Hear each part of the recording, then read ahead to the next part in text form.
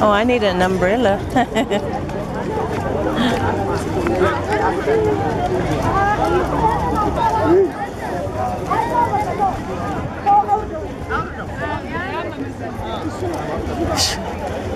Vous marchez trop vite, là? Oui, il va nous amener après ça.